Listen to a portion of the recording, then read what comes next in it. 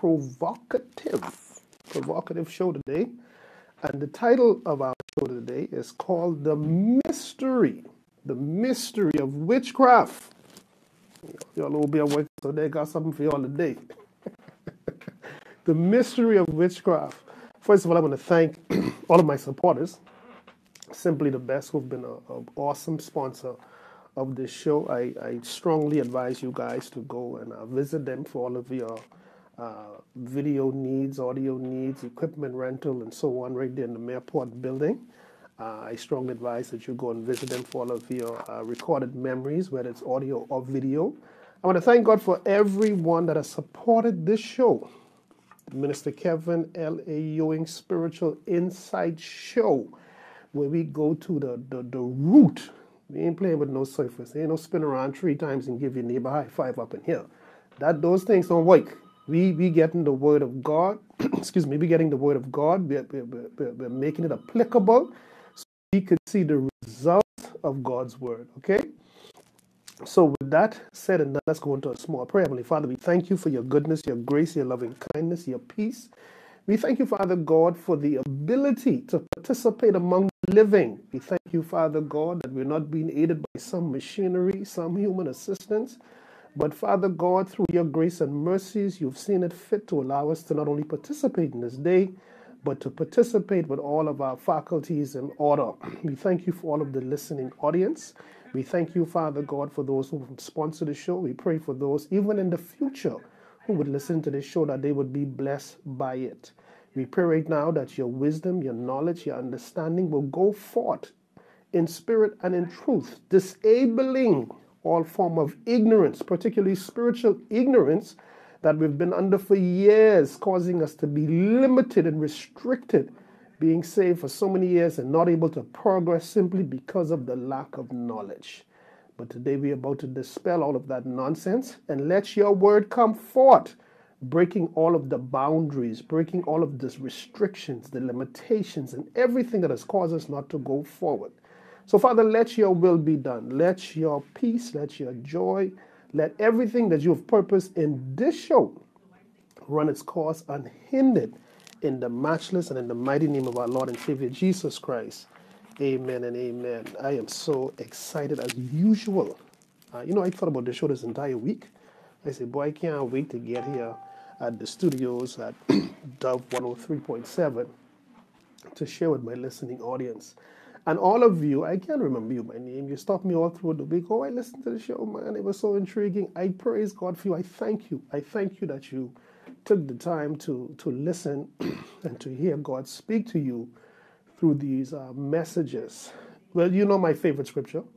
My favorite scripture is Proverbs chapter 11, verse 9b. And it says that through knowledge, Oh, I love this. Through knowledge shall the just be delivered. You all hear that? Through knowledge. Deliverance comes through knowledge. And what is this knowledge, Mr. Ewing? The Word of God. The things that we haven't been told for years. The stuff that was kept away from us, whether willingly or ignorantly. We didn't know. We followed the same useless pattern year after year, month after month be 50, 60, 40, 25, 30, 35, and still waiting on the breakthrough, still waiting on the miracle, still waiting on the turnaround, still waiting on the husband, still waiting on that wife, still waiting for the husband to come back and the wife to come back. All that nonsense. No. Deliverance comes through the knowledge of God, the Word of God, and that is what we're getting into. We want to know what does the Word of God says about our situation. We don't want to hear no nursery rhyme. No, we ain't interested in spinning around seven. I tired of that. I came to church to hear the word of God. I didn't come to church to exercise. That's what the YMCA for. so I came here to hear what God got to say. If I want exercise, I will hire a personal trainer. That's what I would do. But I don't need exercise, at least not physical exercise. I need spiritual understanding, spiritual insight to my situation. That's what I'm about. That's what I want to hear. I don't want to hear don't tell me how God bless you and I still broke over here for 60 years. Don't tell me how God turned it around for you and buy you Mercedes Benz and give you gold teeth and Tommy shirt and all this foolishness. I don't want to hear that.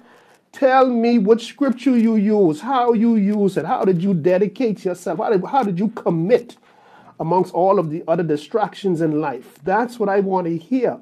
So if it isn't about the word of God, keep stepping, my brother or sister. All right? So, with that said. with that said and done again, I just want to thank the listening audience, man. I am so happy to have you here today and today being for an awesome show. Being for an awesome show. Today I'm going to take my time and I'm going to teach you, I'm going to take you into the scriptures and we're going to understand what this witchcraft, this obeah, this voodoo, this sorcery that all the preachers has run from. They don't hear that. When they hear that word dino, you don't listen to that boy Kevin. You know what he's talking about. That's all he's talking about is obeah. Right now he's wig witch. yeah, I've heard it all. I don't care what they say. I ain't got time for them. You know the word say? The Bible says that broad is the way that leads to destruction. Follow them. Keep ignorant. Keep keep right there going nowhere in life. Let them tell you week after week, Sunday after Sunday, God got a blessing around the corner for you. well, I know where this corner is because it look like this corner can't find its way to you. But they blessed. no, man. No. No, no, no, no, no, no. Uh-uh. We are about to expose, we are about to unveil the revelatory insight again of the things that has been kept from us, man. These things have been kept. It wasn't like they weren't there in the scriptures, they were right there. But we choose not to uh, read. We choose or to just just pick out particular scriptures that only talk about money and and better life and never achieving it, never ever participating in it. We talk about it. We we have all of the educated uh, rhymes and riddles and, and, and you know I, I, I don't know about you man, but I, I am just so well I used to be fed up because I don't I don't follow that nonsense no more. I decided to take the Word of God and read it for myself, listen to it for myself, practice it. And Kevin Ewing has seen tremendous. And anyone who knows me could tell you, they will tell you, who know me personally, they know my story. They know the oppression spiritually and physically I was under. And the word of the living God through knowledge, when I exposed myself and made practical the simple word of God when I begin to commit to fasting, when I begin to commit to praying, when I commit to, to really seeking God with the intention that I am I am giving you back your word, Mr. God. You said that your word cannot return unto you void. You said that you've placed your name above your word. You said that you're watching over your word to perform it. Your word declares in Proverbs 30 and 5, it says that every word of God is pure and that you, O Lord, are a shield unto those that see. That is what I am coming to you with. Not no rhymes, they tell me. Those rhymes, I, that's what that's what that's what kindergarten is for. Okay? Some churches mix up. You you got me one minute I in the gym, the next minute I in kindergarten. No, give me the word. How simple that is. That's what you were, were trained to do. Give me what God say. That's what I want to hear. And now encourage me and assist me in making it practical and stop living a double life. Tell me how to stay away uh, from those things and commit to the Word of God. All right? So, today, before I get any further with my teaching, I got to promote my sister. Boy, I, I don't tell you, I say, Zeta, every time I have a show, I'm going to promote this book. Please, for those of you who are, that's another thing, you can watch me right now on Facebook. That's what technology is all about. Facebook, you can watch me right now live. If you want to go on Facebook right now, I advise you you go on. If you're in the car right now, pull out your little cell phone, your iPhone, your Mickey Mouse phone, whatever type phone you got, your bubbler, as long as you can get online. Go to Facebook and type in Kevin L A Ewing. You're gonna see me live. If you don't feel like going to that one, then you can go to Words of Wisdom by Minister Kevin L A Ewing. Now that's a private group. So you got to ask, uh, answer three questions, which are very simple, and then we will add you to the group. Then I have my Kevin L.A. Ewing Ministries Facebook page. All right, so that's Kevin L.A. Ewing Ministries. Then we have uh, Kevin L.A. Ewing prayer page. All right, so that's like four pages I have on Facebook, and I'm, rec- um, I'm actually broadcasting on all four of those social media Facebook pages right now simultaneously at the same time with this super bad camera I got here. I'm just do all the work for me while I doing my teaching part of it. So you can see me right now. Right now, you can see me live in the studios of Dove 103.7. I'm coming to you live via the radio, and I'm also live via social media. Now, all of you right now, I can see all of you now on social media. Please state which country or wherever you're from. Say where you're from so everybody will see you online and we are. We're all over the world. All over the world, people broadcast or, or chime into this Facebook page. That's why I love technology, man. I love it. I love it. Say no more. Keep me coop up in church no more. Only four members in there. No. We, we, we gone global. and I thank God for the use of technology. So, my friend Zeta, Zeta Grant, has written this profound book called Be Free from Spirit Spouses, Marine Spirits by Zeta Grant. Now, if you're watching me on Facebook, you'll see me holding this to my camera. And you can actually see the book itself. I'm trying to get it angle here. Be Free from Spirit Spouses by my wonderful friend Zeta. She's a lady of the soil, pack. I mean, overwhelmingly saturated with spiritual wisdom. And I mean, she's really laid it out in this book, man. I'm not going to give you any excerpts because I want you to purchase the book. Go on Amazon.com. You can uh, uh, get a copy of it, and that's Be Free from Spirit Spouses by Zeta Grant. Also, you can go to my webpage. Take that. Go to my webpage, Kevin, L-A Ewing Ministries.com, and you can scroll all the way down, look for recommended books. Click on that, and we'll take you straight to the link to Zeta's, uh, where you can actually purchase a copy of this. You can get the actual ebook, or you can get the Amazon copy, the hardback copy. Speaking of my webpage, I also have a blog site, and that's kevinlaewing.blogspot.com. You don't have to remember that because once you go to the web page, which is kevinlaewingministries.com, then I have a link that takes you straight to my blog site where I have over 600 articles. 600 articles over 146 of those articles are dedicated to uh, dreams. All right? I deal with fasting, spiritual warfare, witchcraft, all this other stuff that, like I say, churches don't speak about. Not only do I speak about them, but I speak about them scripturally. And anyone who knows about my teaching, everything I reference to the Bible, I don't want to hear it if it ain't coming from the Bible. Don't tell me what mama say. Mama them get us in trouble right now, but nevertheless. Then I have my YouTube channel. Again, you can access all of these from my webpage, which is kevinlaewingministries.com. And once you scroll down, how you're going to know you're at my page, you're going to see a beautiful photo of my wife and myself.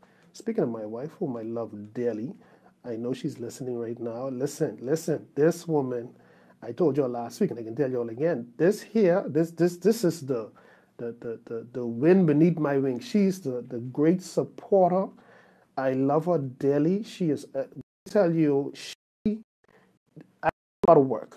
I do all the teaching, I do all of that stuff, but she's the one that makes sure everything is put together. She's the one that keeps me together, to be honest with you, because without her, I would be entirely disorganized. So I want to tell my sweetie pie, Deidre Ewing, how much I love her and I appreciate her. And I know my cuties are listening to me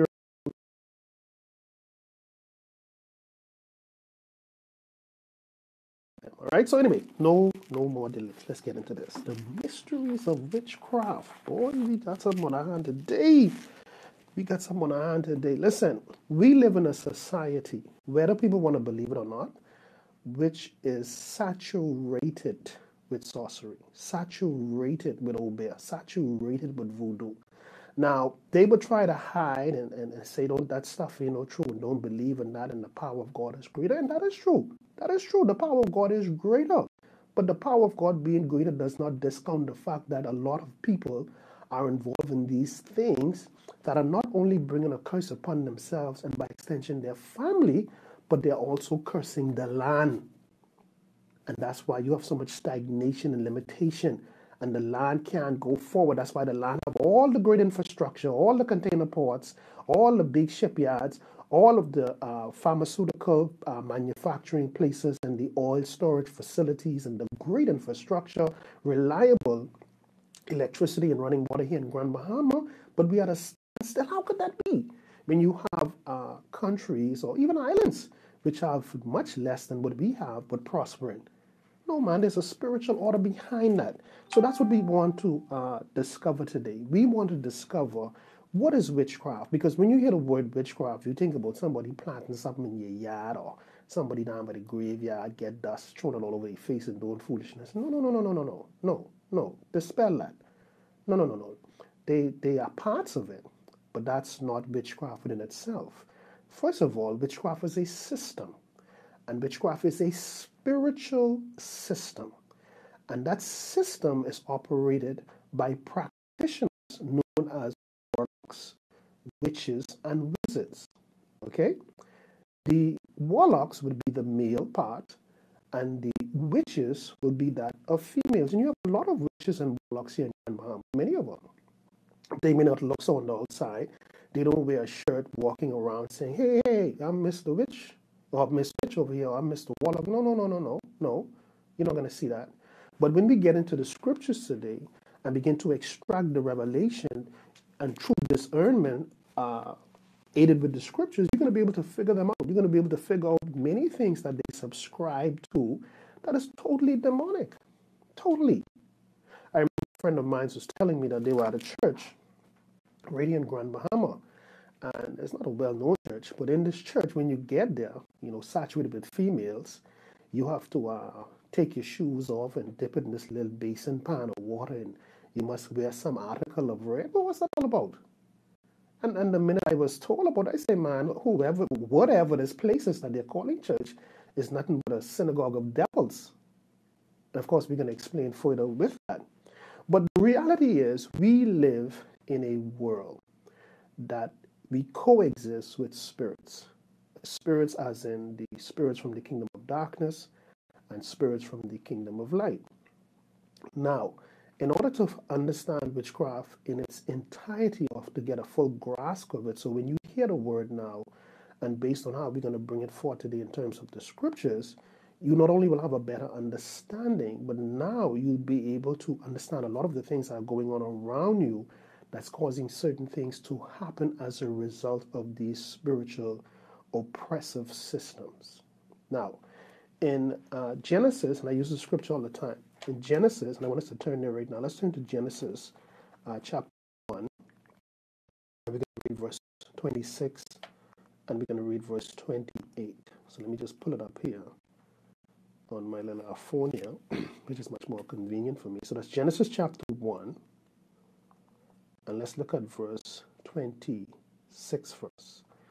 And verse 26 says, And God said, Let us make man in our image after our likeness, and let them. Now, who's this them? He's talking about man, but man would be generic of man and woman. Now let's let's circle that phrase because this is key in this particular scripture, as well as we go into verse 28. So let's start it again in verse 26 of Genesis 1. And God said, Let us make man in our image after likeness, and let them, circle that, let them let them have dominion. Let them have rule. Let them have uh, control and authority over the fish of the sea and over the fowl of the air and over the cattle and over all the earth. All, not parts of the earth. So man have full dominion, full control, full authority, every creeping thing that creepeth upon the earth. Now let's go to verse 28. And it says, And God bless them. Who's the them again? The man and the mankind, which in this case would be representative or symbolic of Adam and Eve. It says, And God bless them and God said to them, Be fruitful and multiply and replenish the earth. So they couldn't do these things prior to this blessing, which is spiritual. The blessing, is spiritual, has now enabled Adam and Eve physically to be fruitful, to multiply, and to replenish. All right? And he says, and to subdue it, and watch, he's going to repeat himself again, and to have dominion over the fish of the sea and over the fowl of the air and over every living thing that moveth upon the what? The earth. So who did God give dominion to in the earth? Who did he give the authority to in the earth? Well, he gave the authority to man, just like we read.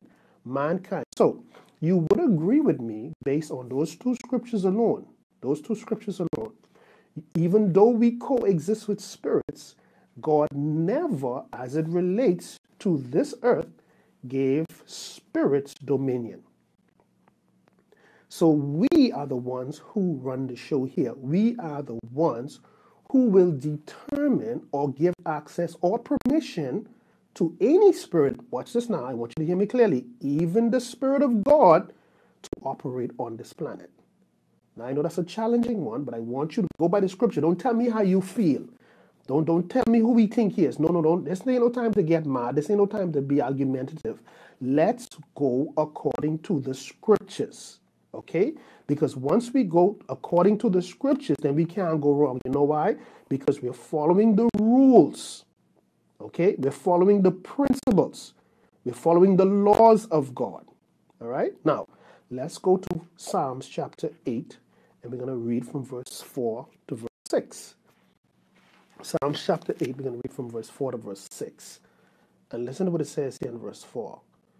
It says here in verse 4 of Psalms chapter 8, it says, What is man that thou art mindful of him, and the Son of Man that thou visitest him? Verse 5 says of Psalms 8, For thou, who's thou, which is God, for thou has made him, which is mankind, human beings, a little lower than the angels, and has crowned him, which is mankind, with glory and with honor. So there's a spiritual endowment upon us which automatically exudes or displays glory and honor. So that's something we don't have to work for. God has given that to us. But listen to verse 6. Verse 6 of Psalms 8 says, Thou, which is God again, madest him. Who's this him? Which is mankind. Now, so far, you ain't get nothing but no spirits, right? He ain't give spirits no glory, he ain't give spirits no honor. He's talking about humanity. Humanity are spirits that are housed in a fleshly body. That's us. So, verse 6 of Psalms chapter 8 says, Thou madest him, or God created man to have what? Dominion, watch this word again, over the works of his hands. Thou, which is God, has put not some things I'm reading here, I'm looking at all things under his feet, not God's feet, but man's feet. So God says, Everything I've created with my hand, including the devil, including evil spirits, including witchcraft, including voodoo, including all of that, he says, I have given man who resides on this earth as in their true nature spirits housed in a physical body I have given them dominion. I have given them authority. I have given them rulership over the earth. Now, Kevin, where you going with this, man? I, I, I feel you, but I see where you headed with this. But I trying to lay this thing out clear for you because I trying to show you who run the show here. So, if if if my initial statement is true, that we coexist with spirits, then how is it that spirits have or can possess a person? How is it then a, a Holy Spirit can lead you or, or, or, or come upon you and cause you to do things that you couldn't do before? How is it that a person could, could, could change your destiny via an evil spirit? How, how could this happen? That's a good question. Because if God has given us dominion, then we which are the dominion operators and rulers, must now give permission to spirits or to invite them here to the earth in terms of assisting us or doing our bidding or whatever the case may be. Now, you may say, Kevin, I think you're going a little ahead of yourself. You know, I'm not. Because again, it's going to show you the system of witchcraft. Witchcraft is a spiritual system and its main purpose is to oppress anything that has to do with progression, particularly that of mankind. But it's not limited to man. It's limit. It can be in an environment. It can be in a family. It could be in a community. It could be in a country. Wherever there's oppression, wherever there's stagnation, wherever there's uh, limitation, wherever you find uh, people finding it difficult to do the things that they were created to do, such as have children, get married, live a happy, healthy life, and somehow that's being stagnated, that's being limited, particularly when you see as a common pattern or practice in a group, in a church, in a workplace, in a family, in a community, in a state, in a country, then you are dealing with invisible powers known as the system of witchcraft. But it cannot just happen. Someone had to initiate it, someone had to put their hand to some evil and invite the spirit. All right? Now, let's make some sense out of this. Let's go now to Exodus. Let's go to Exodus chapter 7. All right? Let's go to Exodus chapter 7. And we're going to read verse 8 to verse 13. All right? Exodus chapter 7, and we're going to read from verse 8. Now, listen to what it says here.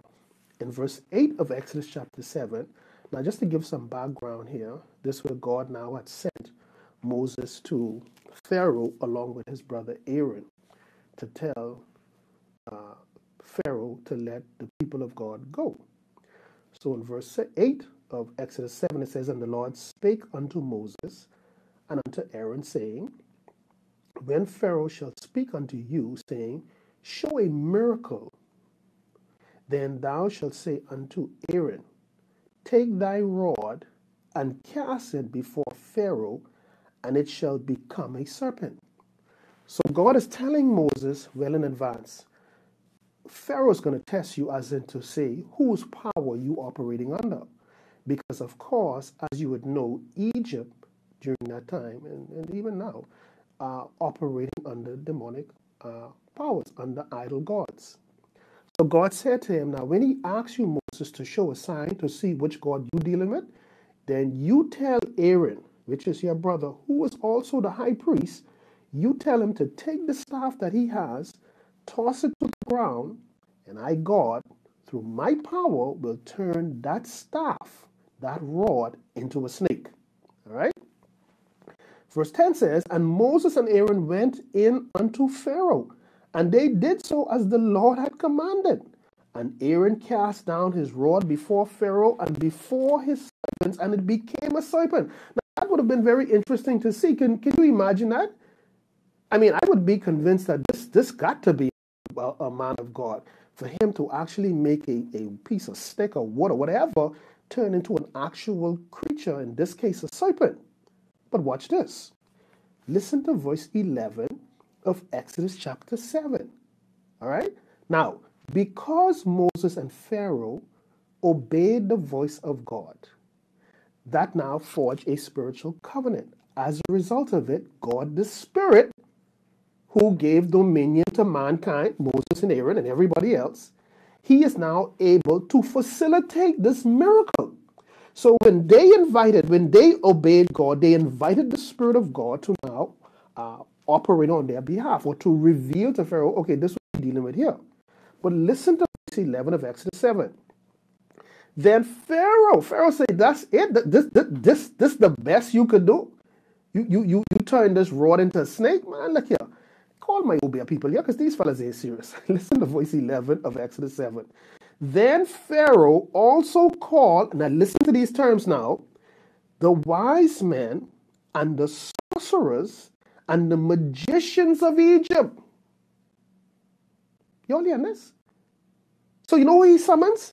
He summons the witchcraft workers. He summons those who know how to tap into the spiritual realm, but from a negative perspective, and to forge agreements with evil spirits to now, listen to this carefully now, duplicate or replicate what God has done. So this is why I'm telling you, and I'm going to say it again. If you are in a church and that pastor say he don't believe in witchcraft or don't listen to those things, get up and leave. You know why? Let's put you back in time where this was happening. And you have two sides doing the same thing. How would you decipher who is of God? Because first of all, you don't believe in Obeah, you don't believe in witchcraft. So, this is why you need spiritual education. This is why you need to peel back and look at the revelation in the scriptures and take those principles, take those rules, take the, God's policies as it relates to these things. So now you could look with spiritual eyes and decipher who this person who call himself a man or a woman of God pulling all these little uh, mag- magic stuff. You see through that. The Holy Spirit saying, Kevin, that is not of God. They are doing the same thing Pharaoh magicians did. They are doing the same thing Pharaoh sorcerers did. They are doing the same thing the wise men of Egypt did. So you see why don't don't let listen to me. Any pastor, any apostle, any bishop say to you, don't listen to Kevin. Witchcraft is not real. That's a pastor who's under spiritual blindness. That is an apostle who's under spiritual blindness, and you better get from underneath them. Yeah, no, you can write me some more emails. Send them, buddy. anyway, so how would you be able to decipher who is of God at this point? So the scripture says, Then Pharaoh called, also called the wise men and the sorcerers, now the magicians of Egypt, they also did in like manner with, listen carefully, listen carefully, with their enchantment. What is enchantment? Um, I want you to take note of these particular words and phrases, because I get on these pastors who don't believe in this, who tell you witchcraft ain't real, or they make uh, foolish statements, or witchcraft only work for those who believe in it. Oh, really? Really now? And what scripture is that found again? Which scripture is that found again? No, man. Stop it. Stop it. Stop. Stop keeping the people of God in, in blackness, in, in ignorance. That's why they ain't going forward. You, you, Mr. Pastor, you got them like that. You because of what you what you disagree with or what you dismiss, sorry, in God's word. Now everybody in the church gotta suffer because of your stupid opinion, because of your ignorant position that you are holding, because of your lack of knowledge. The people of God cannot get ahead. Because the sorcerers now have the upper hand. Why? Because the sorcerers understands the law. And what is the law as it relates to this? Why the believer being defeated? Hosea 4 and 6. God says, Listen, my people, you are perishing. You are failing. You are being destroyed. Why? Because you lack knowledge. But but but but God, Pastor say, Pastor, Pastor say, you, you now I see who your next God is now. no man. Uh-uh. He says, My people are, are, are, are being destroyed. This is a law. What is the law of destruction as it relates to the believer? When the believer lacks the necessary knowledge, which is the word of God, which is the rules, which is the principles, which is the policies of God, which we know to be the Bible, it says that destruction, failure, backwardness is the inevitable. It is the fruit of a lack of knowledge. Then the scripture comes back and say to us again, listen to this carefully, Isaiah 5 and 13. He says that my people, still talking about the people of God, are gone into captivity. Now, the captivity he's speaking of here is spiritual, which is the worst captivity you can be in. Because this is the one you can't see. This, even though you're walking about freely, they don't have you locked up in a majesty's prison. You lock up in some state federal prison. No, you free, but you can't get ahead in life. Nothing could see physically holding you back. But the system of oppression, which is witchcraft, that's operating in your life, has you bound. But watch this now. You go to church every Sunday, every Sunday, and they're telling you from the pulpit where the Spirit of the Lord is, there's liberty. But yet, you got a, a, a master's degree or CPA and, and every other degree, and you are some frying chicken, if you could even hold such a chicken job. Now, now, now, think. I want you to think about this. You know, I know, I know the pastors can write me and curse me out, but I don't care. I ain't talking to them no more. Let them stay with. I'm talking to you who know you've been saved for at least 60 million years and nothing is happening in your life right now. Why? Because nobody is telling you the rules. Nobody is telling you the laws. So you become part and parcel to your own demise by following the traditions of men and neglecting the commandments of God. And what what does that process produce according to the scriptures? Well, according to Matthew 15, that when we uh, decide to follow the rules of men and neglect the commandments of God, which they call tradition, it says now the word of God is of no more effect in our lives. So this now begins to open up a can of worms to show you why you weren't getting ahead. Why? Because all your life you followed, you were just happy carrying past the Bible up to the to be his armor bearer. What armor bearer? What war he going in? See, all this nonsense is what we need to dispel. Get this out of the way. Move all of this clutter. What does the scripture say? Because that's what I want to hear. Because so far in our teaching, I have just seen where evil men who are involved in the system of oppression, such as sorcery and witchcraft, was able to duplicate the miracle that Brother Moses and Brother Aaron did. How do I decipher? What do I have to do now to combat the evil in my life that's stopping me from being where I was supposed to be as a child of the living? Who or what has caused me to be derailed? What has hijacked my destiny that every Sunday I go to church, no one could tell me? Now, I promise I was going to calm down, you know. But like Maurice said, that was a lie. So listen to this now. These guys were able to duplicate or to imitate this miracle of changing a serpent, sorry, changing a rod into a serpent. Now, the Bible uses a serious word they call enchantment. And what does this mean? This means now they were able, through demonic spiritual means, to call on their gods, call on their demonic forces. And they now form a covenant or an allegiance, or the Bible call it a league with the spirits. We need y'all to come up with something to show Brother Moses here, not only him, could do these things. And they were able to achieve it. But now I want us to look at verse 22 of uh, the same chapter, Exodus 7. Verse 22 says here, it says, uh, but before we go there, let's go to verse 21. And the fish that was in the river died. This is when they turned the river into blood, right? And the river stank, and the Egyptians could not drink of the water of the river. And there was blood throughout all the land of Egypt. Verse 22. And the magicians, this, this, this, the witchcraft people now, of Egypt did so with what? Their enchantments. So they turn away and they begin to speak in these different languages. They're communicating with the invisible world from a demonic perspective because they now need the invisible world, which is the evil spirits, now do their bidding. We need you to now turn the rest of the rivers into blood to show Brother Moses, even though he's a man of God, like you say, we who practice witchcraft could do the same thing. So I wonder if, because the Egyptians believe that that's the only reason why it worked. Pastors. No, man, we got to stop it. We, we, we, we, we have to stop it. We, we have to stop causing the people to not progress by keeping them ignorant.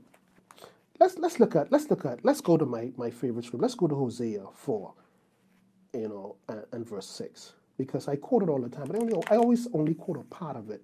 But there's a penalty with that, you know. There's a penalty with the scripture for the leaders who's supposed to be teaching God. People, what I'm telling you right now, and many more like it, as far as the scriptures are concerned.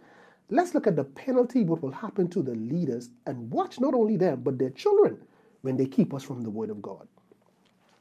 Hosea 4 and 6 now begins to give us the law of instruction, the, the, the law of destruction. It says, My people are destroyed for lack of knowledge. Hosea 4 and 6. He says, Because thou hast rejected knowledge, but he's talking to a specific person here, you know. Because thou hast rejected knowledge, I will also reject thee. Okay, who's this thee? That thou shalt be no more priest to me. Who's the priest? The priest is the pastor. The priest is the apostle. The priest is the bishop. The one who God put in charge to teach his people his word.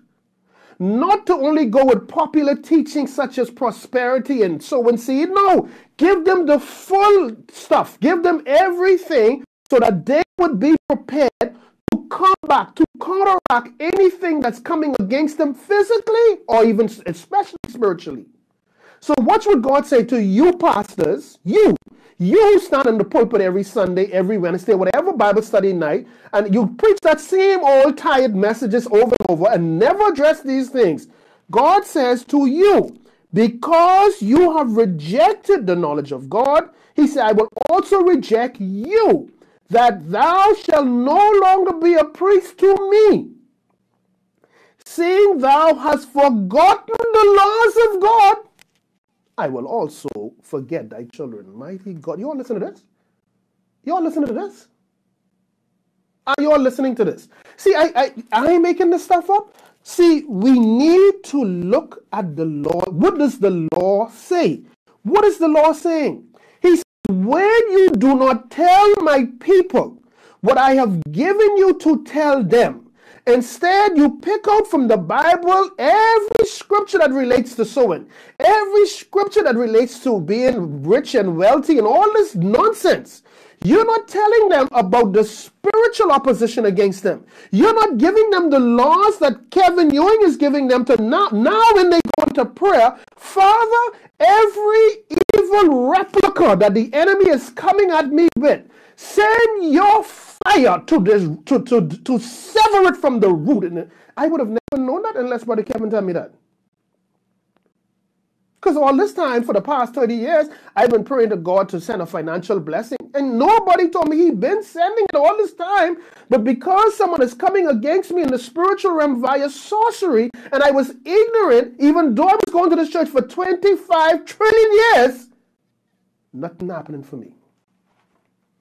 But you don't gotta worry, sweetie. You can come free today. But guess what? The one who been leading you and ain't been telling you the truth, look at the children.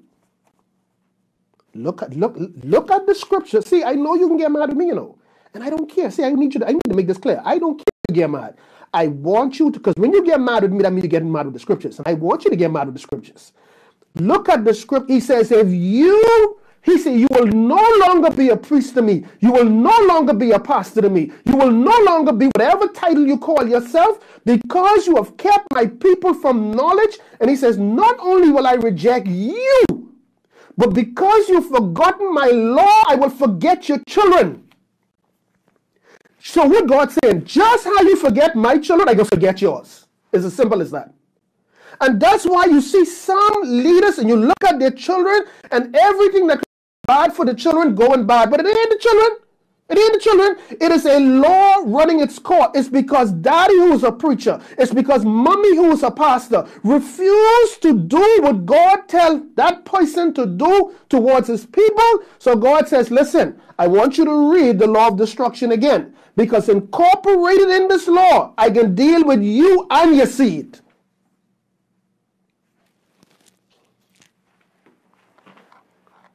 Calm down, calm down, Kevin. Calm down. I calm. I calm. So when we read these, don't pick out the pretty part that think only for the people. Oh yeah, y'all, y'all suffering for the lack of knowledge. Yeah, we suffering. We, you, you, you, Mr. Pastor, you who doing the Watusi up on the pulpit, you who doing the cabbage patch, you who doing all that foolishness on that pulpit and accept telling me what God would. So every day I am on this stressful job, packed with devils. I am home frustrated. I can't meet my mortgage. I can't meet the rent. Everything, and I've been saved. I've been sowing to your ministry. I give to the bus fund. I give to uh, the carnival fund, the Mickey Mouse fund. I give to to to to the Billy Goat seed, the the, the Camelback seed. I give it all of that. I give. Thirty years later, I still renting. Thirty years later, I still I can ride to work. Thirty years later, I got the same testimony that I had thirty years ago. No progress. Why? because every sermon was tailored to give the pastor money, give the church money. But nobody was telling you the spiritual forces opposing you. So how could you confront, fight, or even challenge you don't even know about? It can't happen. It'll never happen. So let's swing here now to Deuteronomy 18. And we're going to see where God had major issues with Israel as it relates to sorcery. So Deuteronomy chapter 18, and we're going to read from verse 9 to verse 14. So Deuteronomy chapter 18, just pull this up here. Deuteronomy 18. I'm going to read from verse 9. And listen to what it says. God now, through Moses, is speaking to the children of Israel.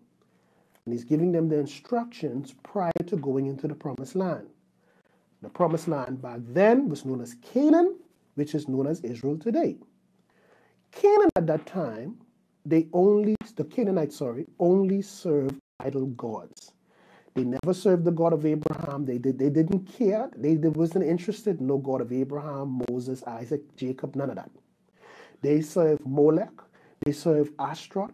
They serve all of these idols and shrines and altars. This is how they operated.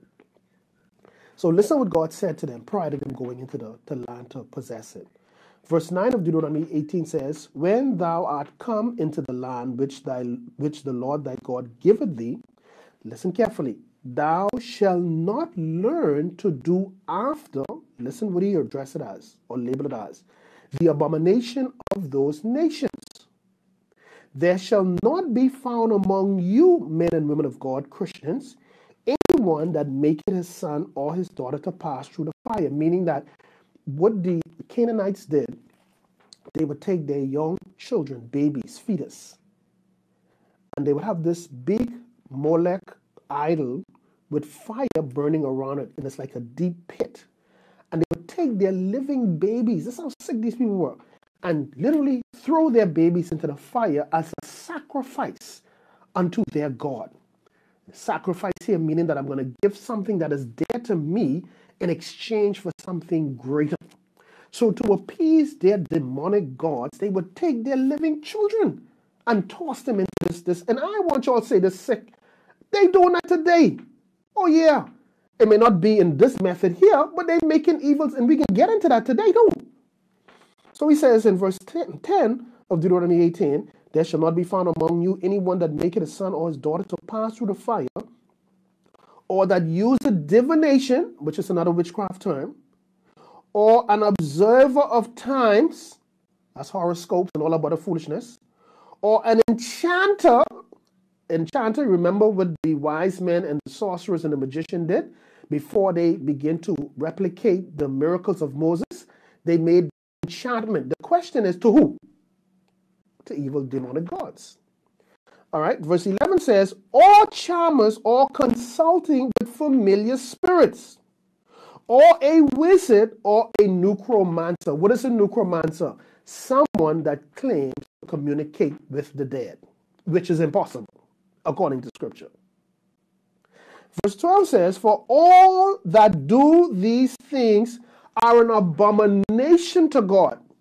So God says, There's no excuse. Kevin, listen, when I was young, Grammy, when I was sick and, and, and the doctors couldn't find nothing to heal me or they couldn't give me no medicine to, to, to, to make me better.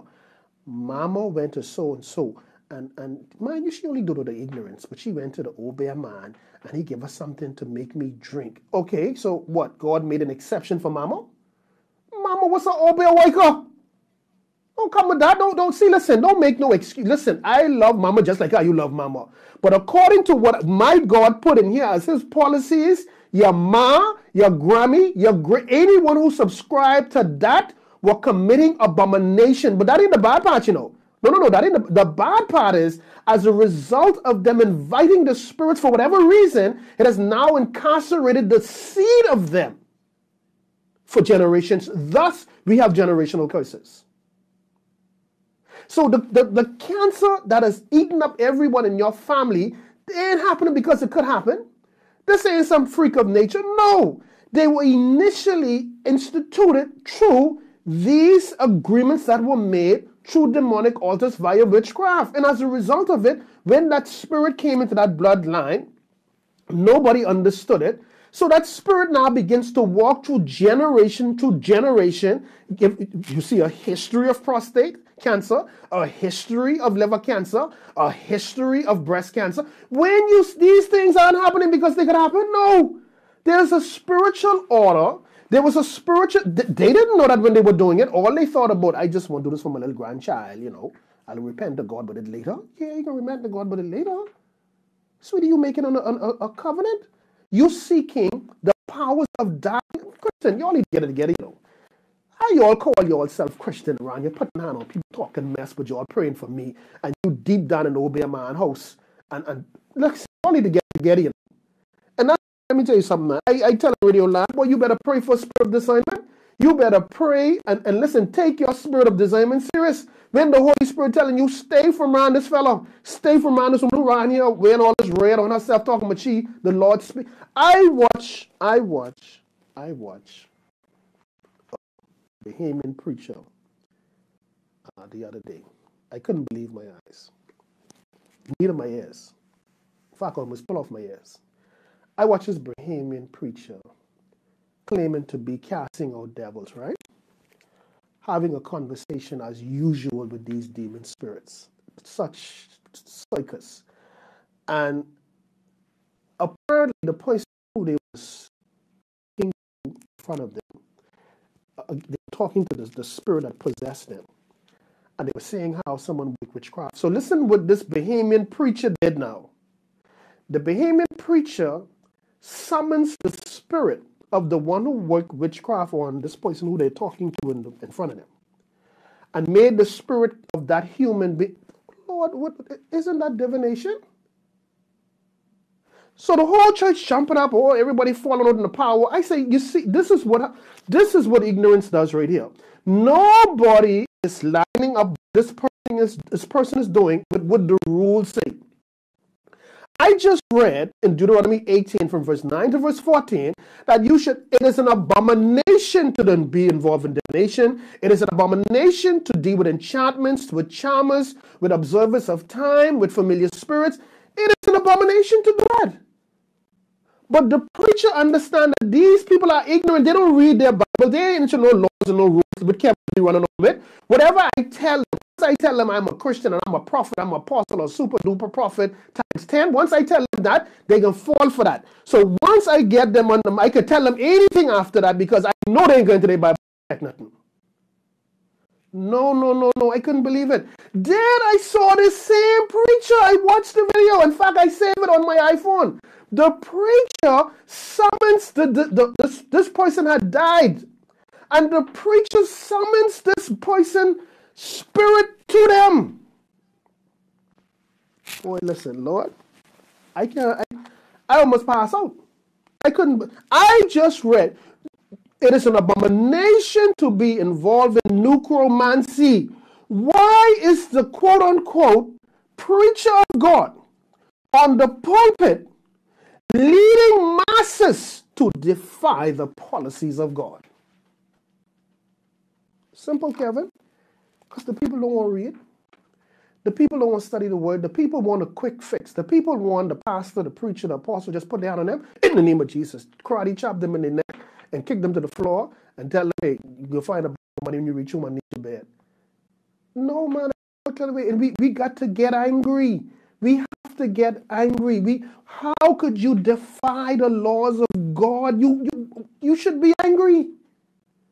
And everybody just just but I understand. Go back to the scripture again. Broad is the way that leads to destruction. The Bible says many, many don't find their way there. Narrow is the gate, small is the path that leads to light and righteousness, and very few can be on that road. So no, I ain't following no crowd. I'm following the crowd that subscribes to the rules, the policies of God. If you ain't on that crowd, if that crowd ain't on that run, rely on your run, buddy. Uh, you you gonna go to hell by yourself. You you ain't dragging me with you. I show it to me. That's what I say. Show it to me in the Bible. Yeah, mama used to do it, but then show me where mama get it from in the Bible. Then mama get my full attention on you. But until you could do that, don't tell me that mama do this all her life. Yeah, that's why mama where she is and y'all on the way to join her. No. Give me the word of God. What does God word say? Now, so so far we realize that the system of witchcraft could be programmed by witches and warlocks, okay, through incantation, through evil sacrifice. But how is all of this done? All of this is done through what they call altars, all right? Altars are places, and I've said this to you on many occasions, where spirits meet with humanity, where human beings meet with invisible beings. Altars are a place where sacrifices are made. Altars are a place primarily where destinies are changed. Oh, yeah. Where you could change the original destiny of a human being. A man or a woman was born to be a lawyer, a doctor, a preacher, or whatever.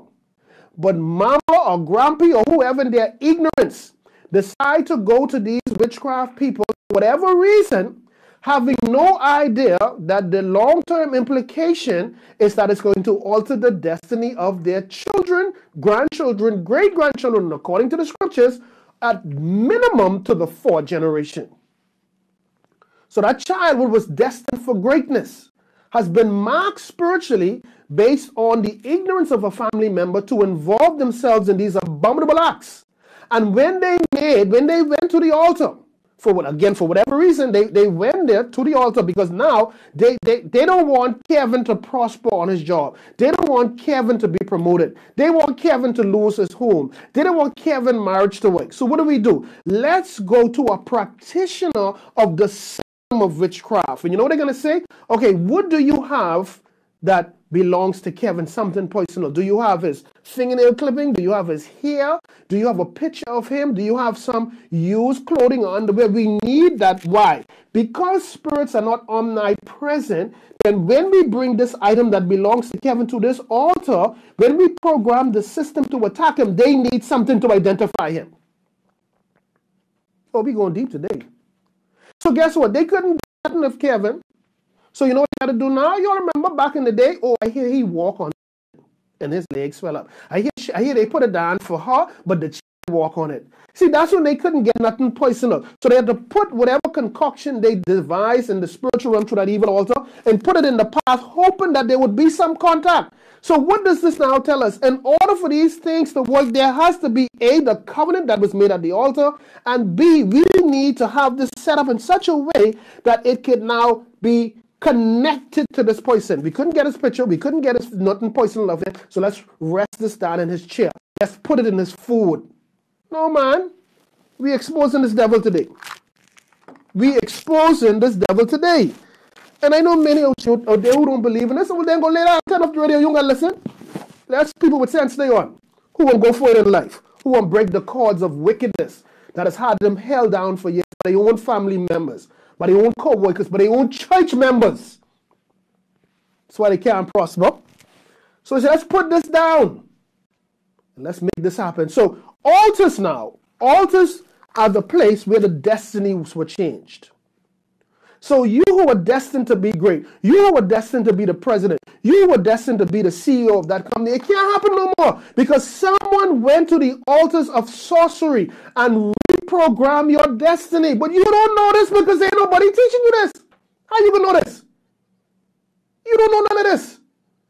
So you go play Mickey Mouse Church every Sunday. You play Mickey Mouse Convention every year. You do the same thing every year. This year is where the kingdom citizens rule. And that's what they tell you. They put up a big banner. This is the year we recover all. This is the uh, whatever zone. Look here. Get, from out here. Teach me the principle. Let's, let's take me to that zone. Teach me the principle. In order for the kingdom citizens to reign and to co- recover all, they, they need to be guided by the laws. They need to know the principles. Your, your fancy little riddles and rhymes can't help us. Okay, you picking out pieces that will always result in prosperity cannot help us. We need to know the rules. We need to know the laws. That's how it operates. So altars. Altars now becomes the place in which spirits are called up. Spirits of God and the spirits of the enemy. Now, let's go to Exodus chapter 20 and verse 24. And we're going to see one of the principles of an altar because the altar now is the centerpiece of everything as it relates to inviting spirits. This is how spirits are invited to operate legally in this earth. Because remember what I started off with we have the dominion, they have not. I don't care how powerful spirits may be, I don't care how great on the hierarchy they are, they are limited as it relates to this earth unless a human being agree with them to invite them here to do their bidding. All right, so let's go to Exodus and let's go to chapter 20 and we're going to read verse 24. And listen to what God says in verse 24 to the children of Israel through Moses. An altar of earth thou shalt make unto me, and shalt sacrifice. This is key. See, there can be, even though we have the altar, without the sacrifice, then the agreement is not sealed. So a sacrifice seals whatever agreement was made at that altar. So an altar of earth thou shalt make unto me, and shalt sacrifice thereon thy burnt offerings and thy peace offerings, thy sheep and thine oxen, in all places where I record my name. Listen now, this is God. God says, I will now come unto thee. When you make up an altar, and that altar is dedicated to God, God says, Now I will come unto thee. I will come there. I'm a spirit. I'm going to show up there. You won't see me, but I dare. And he says, I come in empty handed. He says, I will bless thee. Because this is a principle of the altars, plural, this worked for good and evil. This worked on both sides of the spectrum. So an evil altar will give you the, give you the opposite result. And this is where the practitioners of that altar don't realize that even though Kevin coming here seeking a solution from the kingdom of darkness and the practitioner summoning the spirit, what they don't know is that the spirit behind that altar has no commitment to Kevin nor the practitioner. And that it's bringing curses that will be levied on the practitioner and Kevin and their seed. You don't gotta believe me. Look at someone in your, your community who you know used to do foolishness or you hear used to wake up. Look at children. You want to see the evidence? Look at the children. Look at them. Look at the backwardness. Look at the defeat. Look at the early death. Look at the, the, the going on drugs. Look, these are the invisible curses that the demonic kingdom never told them about. All they wanted was the agreement of that human to have the legal right. These are all of this fine print that they never read but now it's running its course in the lives of these people. So, two things we're learning here as it relates to altars. Number one, depending on who or what is raising the altar unto which spirit.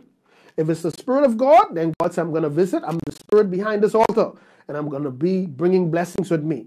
If it's an altar for demonic purposes to program the system of witchcraft, then he says, listen, curses with demon forces are coming behind it. So every altar, hear me clearly, according to the scriptures, there is a spirit behind the altar.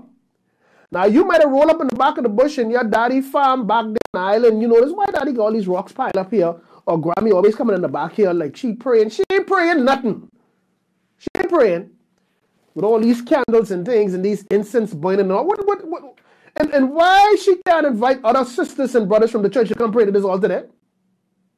No, because it's not an altar of God. It's not. And she's not communing or consulting with the spirits.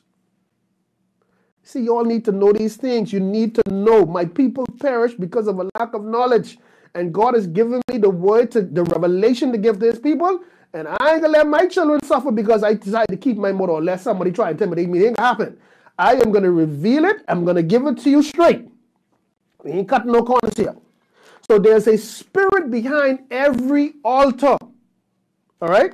And that altar will always, for the most part, need a blood sacrifice. Why? Because oh, this is the mystery now. This this this this this this, this can get hot now. Uh, uh, before we get there, let's let's go to Genesis chapter four.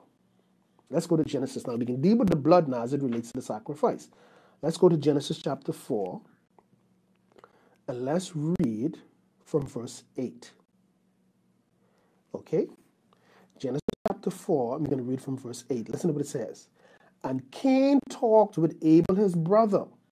And it came to pass. Now, at this point, let me just give you some background. Remember, both of them brought an offering unto God as a sacrifice to God.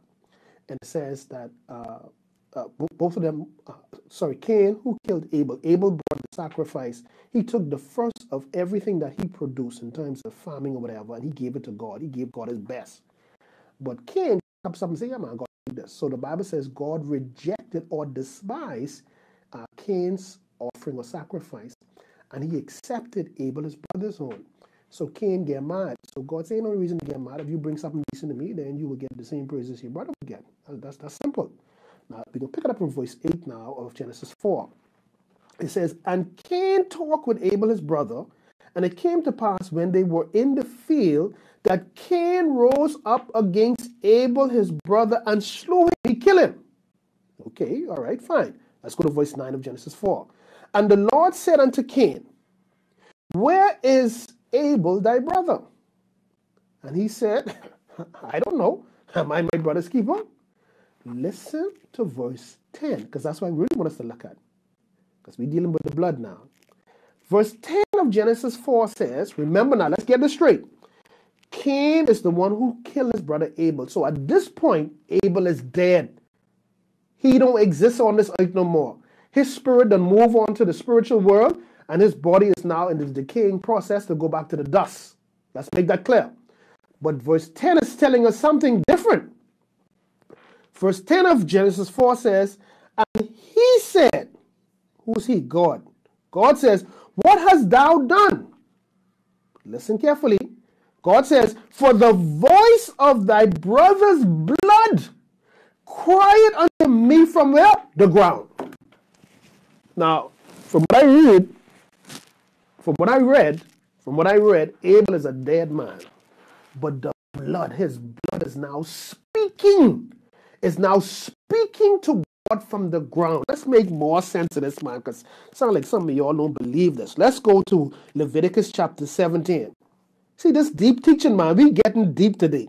Let's go to Leviticus chapter 17 and verse 11. Leviticus chapter 17 and verse 11, so we could get more policies as it relates to the blood, more principles as it relates to the blood. So we just read just now that even though Abel is a dead man and his blood spilled to the ground, God said to Cain, Boy, what did you do? For your brother's blood is crying out to me from the ground. Even though he is physically dead, there's still life in the blood.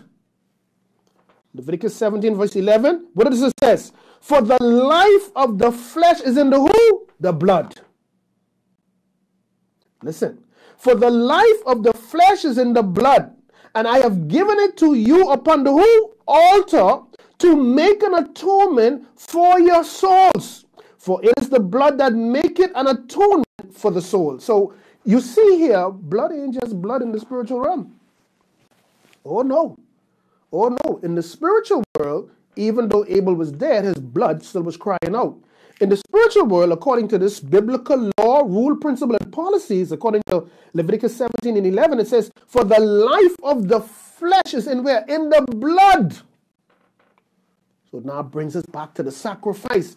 When you decide to put your pictures and your photos and working the nasty obeah and voodoo and cutting open chickens and goats and pouring the blood of that animal on that picture. All of a sudden, your boy who was sensible, your boy who was destined for greatness, but they got a hold of his picture, they got a hold of something to him. When they, the life of that animal spiritually has now been transferred to that young man. And all of a sudden, that boy doing everything stupid. He never behaved that way before. All of a sudden, he walking the road, making monkey capers, doing foolishness, flipping back and forward, cursing out everybody. The spirit of anger on him, the spirit of instability. The boy ain't the boy no more because they changed the boy destiny on the altar through the blood of that evil sacrifice. But they tell you that the boy was lace. Yeah? How, how, did they lace him? They didn't tell you that piece though. They didn't tell you lacing is also sorcery. They didn't tell you that. Why didn't tell you these things? Why? So the life of the flesh is in the blood. Why? Because when they make that evil sacrifice at that evil altar, this is witchcraft now. This is the system now where they're inviting the spiritual blood sacrifice and your boy picture, your daughter picture, the picture of you and your wife, your husband, whatever, they now begin to make the sacrifice on those pictures to now assign spirits, giving that spirit or those spirits the spirit of divorce, the spirit where a man don't want his wife no more, where a woman don't want him no more, the spirit of division and discord. Nobody's teaching you this. All of a sudden, this woman have no more desire for a husband. All of a sudden, this man find everybody sexy and attractive except his wife who God gave him, who he will tell from day one, this is the one God gave him. but he find no more pleasure her. Not knowing that someone programmed the system. They made sacrifice to devils to do their bidding. Kevin, okay, you running out now. You talking nonsense. Now you better give us a scripture. Oh, I have no problem with that. You know me, I just scripture man. So let's go to First Corinthians. Yeah. Take that. Let's go to First Corinthians chapter 10. Say, I love bring the biblical proof, man, because I, I want you to know I'm making this stuff up.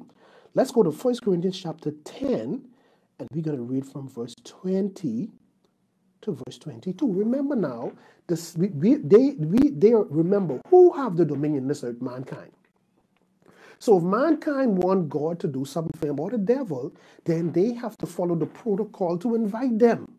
Yeah. So back in the Old Testament, before the, the crucifixion of Jesus Christ, listen, uh, not Aaron, Moses, Abraham, Isaac, Jacob, all of them serve altars, but they serve the altars of God. But on the flip side, such as the, uh, the, the evil guys, they such as the Egyptians and so on, they, they, they serve idols that would, would, would to invoke excuse me, evil spirits. But they had to do a blood sacrifice on that altar. And the sacrifice they were making to demons. They say, Here, demons, we want to appease you so you can oppress Tom. So you this we call it on a specific spirit here now. So this is what is required through this enchantment. But a sacrifice of blood must be made. Now, let's go to First Corinthians chapter 10. And like I said, we're going to read from verse 10 to verse 20. So from verse 20 uh, of 1 Corinthians 10 to verse 22. Verse 20 says, but I say, now this is Paul, the Apostle Paul, speaking to the church of Corinth. And he's telling them these things because some of them right in the church, just like today, waken or bear to the 10 power. Don't mind them in there. God said you will know them by their fruit. Every Sunday you in the spirit. Every Sunday they got to throw but 60 towels on you and cover you up because you under this power of God. Only for you to jump over it and see how you can't stand Kevin, how you hate Mary. Pastor preached too long. What, what spirit you was under? It wasn't the spirit of God. Now you were under spirit, but I can guarantee it wasn't the spirit of God. He says, But I say that the things, listen now, which the Gentiles sacrifice when they took your pictures, when they took your underwear, when they took when they went in your, your, your clothes line three o'clock in the morning, steal your stuff and carry down them people. It says now when they made the sacrifice, those Gentiles, they sacrificed to who? To devils. That's what I'm reading. First Corinthians chapter 10, verse 10, 20. But I say that the things which the Gentiles sacrifice, they sacrifice to devils and not to God and I would not that you should have fellowship with devils. If you know they doing food, you know they into sorcery, the apostle Paul is admonishing us, do not have no dealings with them. There are many pastors on this island. I even going outside of Grand Bahama. On this island, all right, who are spiritually blind and have people in their leadership team who they have no knowledge of neck deep in wicked wickedness. And this is why the church can't go forward. This is why everybody life is on a standstill. This is why everyone broke, busted, disgusted, cannot be trusted. Because they're ignoring the spiritual rules. Listen to verse 21. Let's read verse 20 again. But I say that the things which the Gentiles sacrifice, they sacrifice to devils and not to God. And I would not that you should have fellowship with devils. Verse 21. He says, You cannot drink the cup of the Lord. Don't go up there taking communion. Don't go up there eating bread, which is the flesh of Christ symbolically. Don't go up there drinking the wine, which is his blood symbolically. He said, Don't do it. You cannot drink the cup of the Lord and the cup of devils. You cannot be partakers of the Lord's table and of the table of devils. Grammy, pastor, elder, when that leg of yours, what the doctor couldn't diagnose, he couldn't fix it, and some members say, Come go down here back of the bush by this woman who could heal you. Was that woman a child of God? Was that woman an elder? Was that woman a, bo- a part of the body of Christ who confess Jesus Christ as Lord and whatever it is that she's recommending to you or fixing for you, did Jesus and His Holy Spirit advise her to do it? No, and you knew it. But you went there anyway. You cannot drink the cup of the Lord and the cup of devils. You cannot be partakers of the Lord's table and of the table of devils. He says, No. In so much words, you cannot serve two masters. Listen, verse 22. Do you provoke the Lord to jealousy? You all hearing this? Are you all hearing this? Now, let's let's go to another scripture before I get to the one that I really want to go to. Let's go to Exodus. Let's go to the, the, the 20th chapter. And we're going to read from verse 2 to verse 5. And this have to do with those who dealing with these same sorcery and idolatry. See, idolatry, idolatry, enchantment, wizards, warlocks, witches, witchcraft, divination, uh, wise men, uh, sorcery. All of this, all of these are the tentacle of the system of sorcery. So this is what I saying to you. When a pastor say to you, don't believe in those things, you know what he's saying? You don't believe in the Bible. You hear me read nothing from Shakespeare today, right? You hear me read nothing from Einstein today. Everything that I read to you, I read to you from the scriptures. So you need to take note of these people who are lording over you as your leader. And they are leading you to a, well, I wouldn't say a Christless hell, but they you wouldn't enjoy the quality of your life here. Not if you stay under that nonsense. Exodus chapter 20, beginning at verse 2. Now remember, we, we just ended now in First uh, Corinthians chapter 10, verse 22, and it says, Do not provoke the Lord to jealousy. So in Exodus chapter 20, verse 2 says, I am the Lord thy God, which have brought thee out of the land of Egypt, out of the house of bondage. Thou shalt have no other God before me. Thou shalt not make unto thee any graven image of any likeness of anything that is in heaven above, or that is in the earth beneath, or that is in the water under the earth. Why are you wearing these amulets? Why are you wearing these charms? Well, Kevin, the woman said, I must put this on and ain't no evil could come after me. What you, who, who woman? Who this woman is?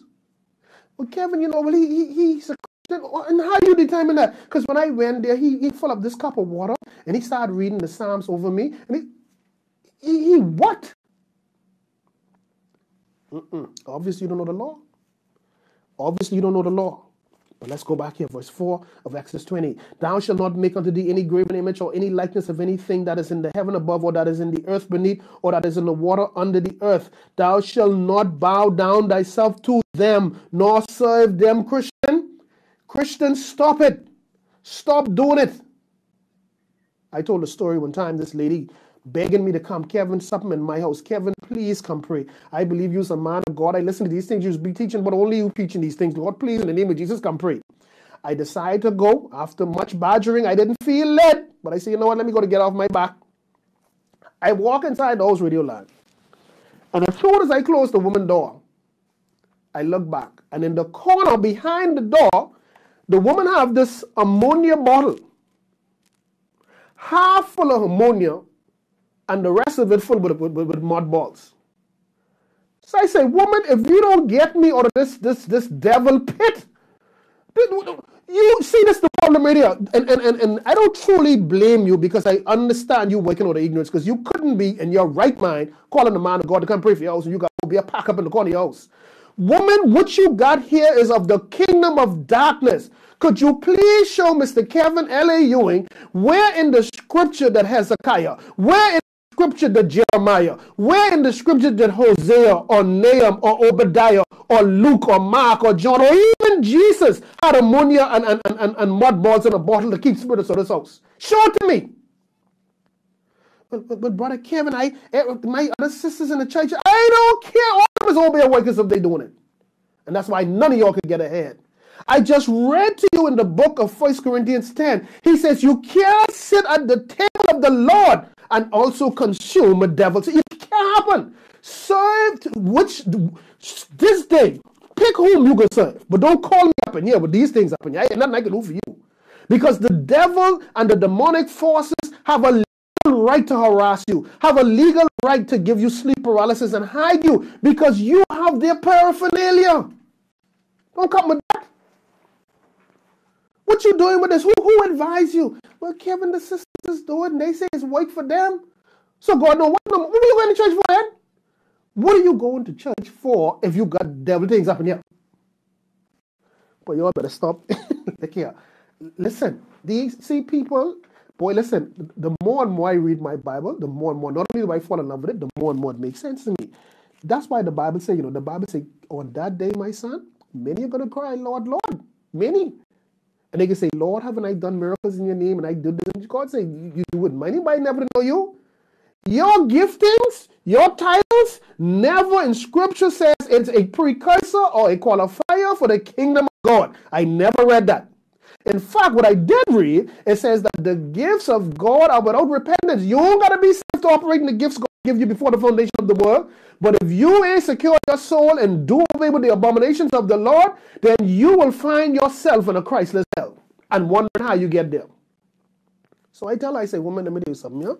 I don't come to obeah people's house to pray for them. I'm sorry. Okay, what you got here, and I'm sure there are other things that you're doing.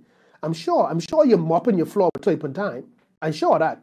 I sure you're putting salt in four corners of the, of the, of the house and around the, the borders of your home, your gate and your fence and your wall. I sure you're doing that because if you got this here, okay, I show you. Well, that, that's true, Mr. Ewing, but I didn't see nothing wrong with it. What, what do you mean you, you called me here because the Spirit holding you down every night and beating you to death? That's what you, you called me to pray it out. So these things are the reason why they're there. See, listen, when you set up that altar, because that's what they are. When you, you you are in the very thing that those practitioners of that altar gave you and tell you, say, put this in your house, and no matter what they send at you, it can't work. The very thing that they telling you ain't gonna work, inviting specific spirits there. So in the spiritual realm, you're on the highway of the spiritual realm, your place is a gas station. That's the place they come to fuel. That's the place they come to hang out right there. That's the place they come to refresh because you have everything there to facilitate that. They have the they never had the legal right before to inhabit your place but now they have it. Because you have stuff in there through your ignorance. And i always add this. If what you're saying to me is true if you're saying to me kevin this here is to keep the evil spirits well why you never discuss why when they had testimony night right after sister mary say she thanked the lord for pulling out the miry clay and putting on the rock to stay. Why didn't you get up next and say, I want to thank the Lord, hallelujah, praise you, Jesus, that I have ammonium and mud balls in my corner. Jesus, Lord have mercy. And I mop my floor with type. Ain't no devil. Why haven't you went up there on the pulpit and give that testimony? So you know what that tell me? You know, you know that is wrong. You know that is not of God. So stop playing with your soul. Stop playing Mickey Mouse Church. No, Get real. Don't call me in your mess. Don't call me. And that's probably why, and I know that's why the Spirit was telling me don't go to begin with. But I, I'm glad I did go to see the mess you got there. And this is the reason why you and all the children oppressed. Every last one of them oppressed. Not realizing that the altar she brought in her place, these, these points of contact, has now ensured that those children are spiritually not only enslaved, but it has changed the course of their destiny. So you could go church all you you could go church all you want. You could go to Bishop T.D. Jakes, uh, uh, whatever he does have, woman thou art loose. In fact, you could go to Billy Goat thou art loose. ain't gonna cheat. The only loosening them up in there is when they free you up of that money. But that's about it. You will go to the same and the same way. Why? Because there are spiritual injunctions against your destiny. And that has been brought about through your ignorance. But I don't fully blame you. I blame those who claim to lead you. That's who I blame because they are the ones that are supposed to be telling you what I'm telling you right now. So now that you you could now fight sensibly and wisely, you could say, you know what, Kevin just they just I just finished hearing that man preach on that the other day or teach on that. Boy, look, yeah, I ain't messing with that. Don't I ain't going to know know which woman. I don't need to know nothing about my future because the man just quote the scripture. He I could give you the scripture right now because I remember because I couldn't forget that. See, if they're not telling you that, if the only thing you could remember when you leave of that service is a nursery rhyme they give you, boy, look here. If you know what's good for you and your seed, you better run for your life.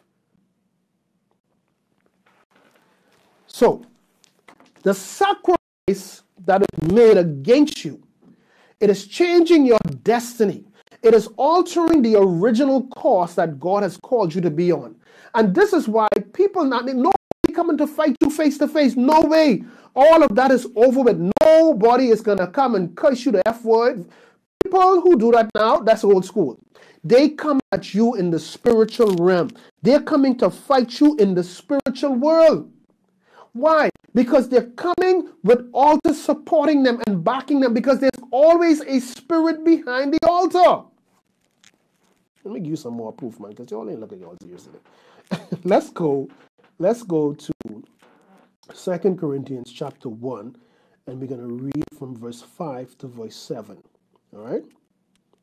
Second Chronicles, sorry, Second Chronicles chapter 1, and we're going to read from verse 5 to verse 7. Now, this was during now Solomon had now just become the new king of Israel. He had uh, uh, taken over from his father David. And this is basically his inauguration. So in Second Chronicles chapter 1, beginning at verse 5, it says, Moreover, moreover, the brazen altar, circular word altar, that Bezaleel, whatever his name is, the son of Uri, the son of Hur, had made, he put before the tabernacle of the Lord, and Solomon and the congregation sought unto it. What is this it? The altar. Verse 6 of Second Chronicles 1 says, And Solomon went up thither to the brazen altar before the Lord. So now we realize that this is an altar that has been erected for godly purposes. And remember the principle that we read in Exodus 20, verse 24, that wherever a altar is constructed unto God, God says not only will he come there, you see him, he comes, he's a spirit, and he will bring with him blessing. So In verse 6 of Second Chronicles chapter 1, it says, And Solomon went up thither to the brazen altar before the Lord, which was at the tabernacle of the congregation, and offered a thousand burnt offerings upon it. Now, this was a very huge sacrifice, all right? It says, as a result of this, in that night did God appear unto Solomon and said unto him, Ask what I shall give thee. In that night, meaning that this was a dream now, God appeared to Solomon in a dream. So the altars, and this, and we can deal with this more. This, this is just part one of the mystery of witchcraft. We got like about two or three more series that I can do with you so you can get a full understanding of this. But what the scripture is showing you now, this is how sleep paralysis come about. Many of you are there who being high in the night or you feel this heavy thing on your chest or pinning you down to the bed. You can't scream, you can't shout. Your spouse or whoever next to you, and they don't know what's happening with you, and you feel like something trying to kill you. Well, that came as a result. There's an altar. Whenever you see that happening to you, there's someone in your family, if not yourself, or in your ancestral bloodline, who served altars, and the spirits from that altars are now coming to torment the family members of, of who, who, who the person who originally served at that altar. They invited spirits. Now, whether they invited to attack someone else or to harass, it doesn't matter. Those spirits are now assigned to that bloodline. So there are members in that family who are going to have a lot of demonic attacks, a lot of uh, strange is going to take place in their lives that they can't tell people because they it, it sound like they losing their head. But they telling you the truth. Now you seeing the godly side of it in Solomon's case. Solomon made this big, huge sacrifice before God. So the Spirit of God from that altar is now visiting Solomon all through the Bible, you will see the same principle. So if the Spirit of God is now visiting Solomon as a result of the sacrifice, what do you think But sacrifices that are made to demonic, uh, to devils and demons? So this is why the children of that family is harassed, especially as babies. They're screaming and crying in the night like something trying to kill them. You got to go in there and they, the child scared when the light go off. Why? Because the altars that the mummy, the daddy, the grammy, or the great great grammy, the altars are now visit. Sorry, the, the spirits from the altars are now visiting those children and harassing them. So what am I saying to you? Well, I've been telling you earlier. There are there are spirits behind the altars. Don't mind just a bunch of rocks there. Don't mind that big tree there that you see mama or grandpa just go there every evening and talk to the tree. They ain't talking on their head. They are communing with the spirit. They are consulting with the, they know what buried under that banana tree. They know what buried under that papaya tree. They know what they're under that big fig tree with all those roots or under that tamarind tree. They are fully aware. They'll never tell you. But they are fully aware but still. All right? So, I want to show you how real this is as it relates to the spirits behind the altar. So let's go to to First Kings, and I realize the time slipping here. Let's go to First Kings chapter 13. And this, this, this is a very broad topic that we're going to cover, but I'm going to pound this into understanding because I need you. I need you to break the spirit of ignorance that you've been under for so many years. And I promise you, once you begin to put these principles in, in place, in terms of when you pray now, you pray against the altars. If you're being high, if you're not getting it, come against the altars and the covenants and the blood sacrifice or the sacrifices made. Father, every evil altar speaking against my destiny, I silence the blood, I silence the voice of the blood of that altar speaking against me. I just showed you the principle in, in, in Genesis 4. God says, when he came to Cain, he says, What have you done? For the blood of your brother is speaking from the ground. Leviticus chapter 17, verse 11 says that the life of the flesh is in the blood. The Bible says in First uh, uh, Corinthians chapter 10, we get at verse uh, 20, it says that when the Gentiles make their sacrifices, they're making it unto devils, and that I would have you have no dealing with devils. See, these people have no idea when they go into the graveyard all hours of the night doing nonsense and doing rituals and, and, and letting spirits take, they have no idea how they are rewriting the history of their family to an evil future. They have no idea of that. And that's why there's people suffering today they could watch success go by. They could watch, they could never participate in those things because mommy all her life, grammy, grandpa all their life, touting titles they were witch and warlocks and, and, and secret society leaders. Yeah, at the expense of the future generation. Because I gave you the principle in Exodus chapter 20, verses 2 to 5. God plead with Israel. He says, Listen, do not bow, do not serve do not have no dealings with idolatry. In fact, in 1 Corinthians 20, 1 Corinthians 10, verses 14, he says, Flee idolatry. Not adultery. He ain't talking about. Idolatry, to serve other gods, to participate in necromancy, witchcraft, obeah, voodoo, shango, uh, santeria, black magic, uh, tarot all of these things are the paraphernalia, the tentacles of sorcery that is. Ta- I don't care how educated you are. If you had a family member that participated in these acts, then the portal of sorcery has been opened in your bloodline. And at some point in your life, things are going to go downhill and it's going to be almost impossible for you to regain the losses you've had. Why? Because there is a voice from that altar that is speaking against your destiny. Uh, you could get saved to the 10 power. They could anoint you bishop of the whatever, whatever, to the 30 billion, whatever. It don't matter. There is a covenant. There is a voice speaking against your, there is an injunction in the realm of the spirit that lies your blessings. Now you are enshrouded, overcome, and saturated with the curses that came along with the covenants that was made by your ancestors. Don't tell me no mess. I to hear it. I don't want to hear none of it.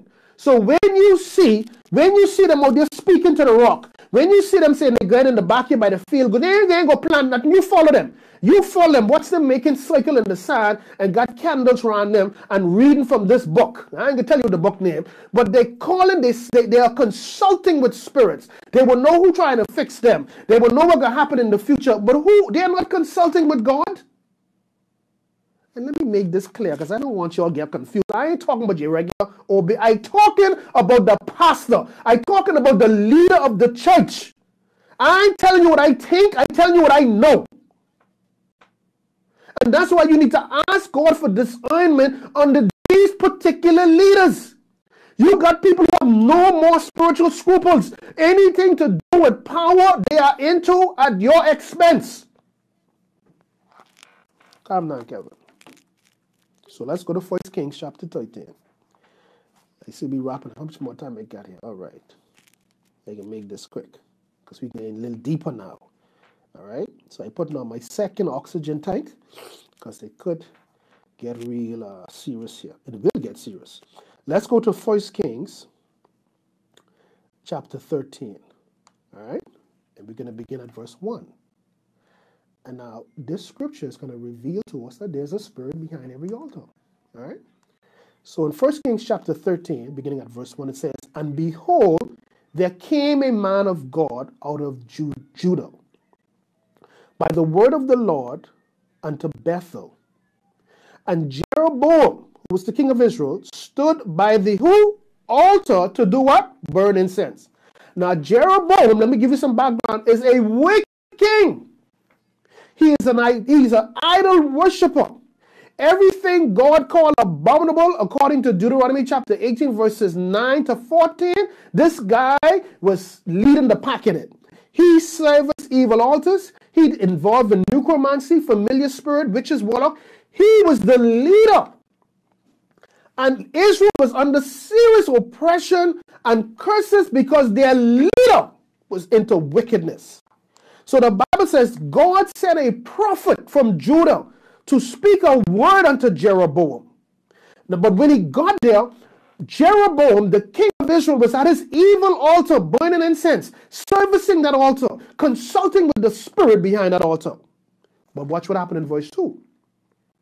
Because if you was back then, you would say the man of God got to be of his mind. Guess what? The man of God is not speaking to the altar. Which in if today it, it was a bunch of stones pile, a bunch of rocks. So verse 2 of 1 Kings chapter 13, it says, And he cried against the altar. Who's he? This is the prophet whom God sent from Judah to speak a word. So he now cry, he's speaking to these bunch of rocks. But he know in the realm of the spirit, ain't a bunch of rocks. There's a bunch of rocks there physically. But he know there's a spirit behind this altar, and it's an evil one. He said in verse 2, and he, which is the prophet, cried against the altar in the word of the Lord and said, O altar, altar, thus said the Lord, Behold, a child shall be born unto the house of David, Josiah by name, and unto this shall he offer the priest of the high places. Let's get this straight now. This priest is not a priest of the living God. This is a voodoo priest, a witchcraft priest that serves the evil altars of Jeroboam. So the prophet is now prophesying the future events God has had with Israel and serving and doing these abominable acts. So he says, Let's listen carefully. And he cried again against the altar in the word of the Lord and said, Oh, oh so he's talking not to Jeroboam. Even though Jeroboam is standing up at the altar, he is speaking to the altar, but the spirit behind that. So in the spiritual realm, he is talking to that chief devil, that demon, or those demons that they were making sacrifice. So he said, Oh altar, altar, thus said the Lord, Behold, a child shall be born unto the house of David, Josiah by name, and upon thee or upon this altar shall he offer the priests of the high places that burn incense unto thee, and men bones shall be burnt upon thee. And he, which is the man of God, gave a sign the same day, saying, This is the sign which the Lord had spoken. Behold, the altar shall be rent or torn or broken, and the ashes that are upon it shall be poured out. Listen to verse 4. And it came to pass when the king Jeroboam heard the saying of the man of God, because he's upset now. Who does dude think he is to come up in my place and speak to my altar in such a manner? So it says here, and it came to pass when the king Jeroboam heard the saying of the man of God, which had cried against the altar in Bethel, that he, which is Jeroboam, put forth his hand from the altar, saying, Lay hold of him. So the king is now telling his guards, grab him. Listen to this now. Lay hold of him, and his hand, which he put forth against him, dried up, so that he could not pull it back again. So when the king put forth his hand to tell his guards or the evil spirits to grab a hold of the man of God, it says that his hand withered, and he couldn't pull it back down. Verse 5 says, The altar also was, to- was broken or rent, and the ashes poured out from the altar according to the sign which the man of God had given to the word. And of course, the, man, the Jeroboam began to beg the man of God to please restore his hand. But I'm bringing you the scripture to show you how real this is. See, we're moving from all of this secular teaching. We're moving from all of this, this physical stuff we hear on every Sunday. And we really, really now putting our focus on Ephesians 6 and verse 12, which says, We are not wrestling against flesh and blood. And the scripture is making this clear. The man of God spoke to the spirit behind the altar. But this ain't nothing new. No. Even in the New Testament, remember I told you last week when we was dealing with omens, and I told you about it is a common behavior. In fact, it's a Caribbean practice that when a child is born, it is customary for the mother or whomever to secure the placenta or the umbilical cord so that it can be buried in the under a tree behind the yard in most cases. And the idea behind it, which is demonic, is to protect the child from spirits or harm or whatever, which is garbage. All you're doing is changing the destiny of that child, and the altar, wherever that child umbilical cord is buried, the altar now controls the destiny of that child. I just told you about the blood, right? Doesn't the umbilical cord have blood all over it, all in it? So what happens now? The blood from that umbilical cord now is appeasing the spirits at that altar. And the altar now controls the destiny of the child. It is inevitable for the child to fail at a certain point in their life. The child may start off good, may start off getting good grades, doing well, but guess what? The time that was set on that child destiny to be turned, it could be 15, 20, 25, 30, 35, 40, but that day coming because it's already marked in the spirit. And everything that can go wrong for that person, that child will begin to go wrong. Because now the altar is speaking against their destiny. And there is an item belonging to the child that gives it the right to do it. Now, let's go. I see this time slipping, but I just getting deep here. Let's go to uh, let's go to a New Testament uh, scripture. Let's go to Mark chapter 11. Mark chapter 11. And I can show you something that can blow your mind right now. Mark chapter 11, and we're going to read from verse 12 to verse 14. Mark chapter 11. Mark chapter 11. I'm trying to pull it up here. Mark chapter 11. And we're going to read from verse 12 to verse 14. Now, listen to this carefully now. Now, the scripture says here, now, let's start from verse 11. Verse 11 of Mark 11 says, And Jesus entered into Jerusalem and into the temple. And when he had looked around about upon all things, and now the evening was come, he went out unto Bethany with the twelve. Verse 12 of Mark 11. And on the next day, when they were come from Bethany, he, who's he? which is Jesus, was what? Hungry. Verse 13. And seeing a fig tree afar off, having leaves, he came, if happily he might find anything thereon. So he was hoping that figs would have been on this fig tree because it had all the leaves that gave the impression that it was supposed to be, uh, I guess, given uh, figs. It says, and when he came to it, he found nothing but leaves. Now, this is Jesus. For the time of figs was not yet. But listen to verse 14 and listen to the revelation. And Jesus answered, circle that word. Circle the word answered. Because, and I know English scholar. I believe I got on BJC in English somewhere. But listen to this. It says, and Jesus answered. But he's talking to the fig tree. And if, if, if, if, the, the dictionary serves me correctly, the word answer means to give a response, either verbally or written, to an answer, to a question. So the Bible says, and Jesus answered the fig tree. What question the fig tree asks? But why am I putting this out to you? It is to support what I was telling you all along. Clearly, this fig tree was an altar. Clearly, something was buried under this fig tree. And Jesus was speaking to the spirit behind the tree. Just like when your ma, just like when your Grammy, just like when your no good grandpa who worked witchcraft all his life, stand up in the backyard and speaking to that banana tree and speaking to that papaya tree that you thought he was on his head. No, no, no, no. He wasn't on his head. He was speaking to the spirit behind the tree that is controlling the destiny of everyone whose placenta is buried there. So the scripture says, And Jesus answered and said unto it, What is the it? The fig tree. He said unto it, No man eat fruit of thee thereafter forever. So this particular fruit tree will never ever blossom. Never. It will never produce figs. Jesus not only dealt with the spirit, but the physical tree itself was cursed. Listen to verse 15. And they came to Jerusalem, and Jesus went into the temple. Let's drop down to verse 16. And would not suffer that any man. I'm trying to find the part when they were coming back.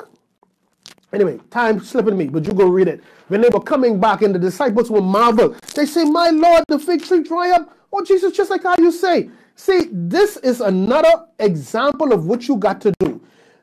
Someone listening to me today, what I am saying to you is resonating exactly what I'm talking about. You know, you come from obeah family, you come from a witchcraft family, but your life tie up too. Don't believe because you in church you escaping this. No, you were initiated into that witchcraft family when things were buried. As a result of that, your I don't care who you marry, I don't care who you date. You will be from man to man, woman to woman, whatever. Your relationships will never last as if you get married.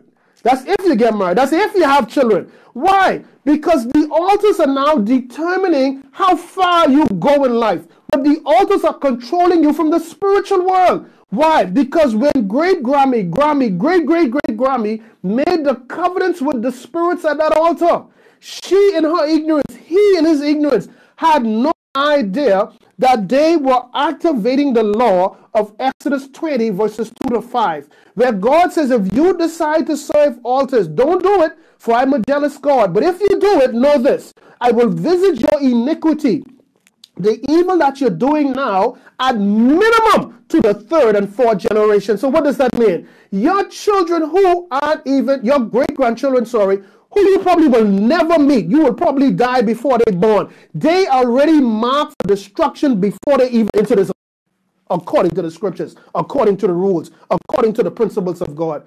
But that in the part would hit me, you know, because in the Bible. The part would, why aren't the preachers preaching this? Why aren't educating you spiritually for you to really now fight spiritually? Why? See, this is why I get angry. I'm sick of hearing the prosperity. What sense does it make being prosperous if you are held back? If you are living a life of back, what could riches do for you when you're so confused in life? What? You tell me. So, what did God say to do? What did God say to do about these altars? Well, let's go to Deuteronomy, because we wrapped up in a little bit. Let's go to Deuteronomy chapter 7. And this is only part one. This is only part one. Part two, part three, we might even go to part four of the mystery of witchcraft because I am sick and tired of hearing foolish Christians. That's all Kevin is talking about. You need to, they are foolish. They are under bewitchment. Anyone who tell you after all of these scriptures, and this ain't even scratching the surface of what I got here for you. After all of these scriptures, you letting these fools tell you these things ain't real or these things only work if you believe it? Well, then you just as crazy as them. So the scripture says here in Deuteronomy chapter 7, and let's read from verse 1. He says, When the Lord thy God shall bring thee into the land which thou goest to possess it, and has cast out many nations, he's talking about the promised land, before thee, the Hittites and the Girgashites and the Amorites and the Canaanites and the Perizzites and the Hivites, the Jebusites, seven nations greater and mightier than thou. And when the Lord thy God shall deliver them before thee, listen now, thou shalt smite them and utterly destroy them.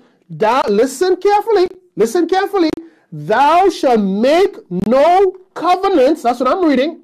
Thou shalt make no agreements, thou shalt make no leagues, thou shalt have no form of agreements with them, period. He said, Make no covenants with them or show mercy unto them. Verse 4 Neither shalt thou make marriages. Don't marry them. You hear they, you know they man power was into secret society, and they Grammy them. You hear that the, the mummy was deeply into sorcery and wearing all these charms.